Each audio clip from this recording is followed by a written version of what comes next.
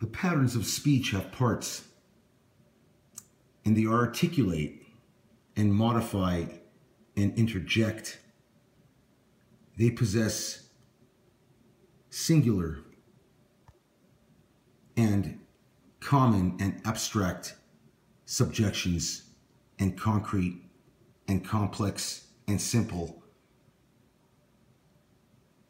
The structures of past, present, and future, and the participation of phrases, the verbal preps, and the appositives and the infinitives lend into sentence structures.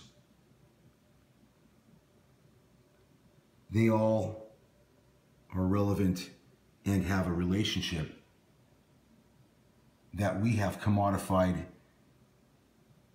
and manifested into our inherent being, the rough.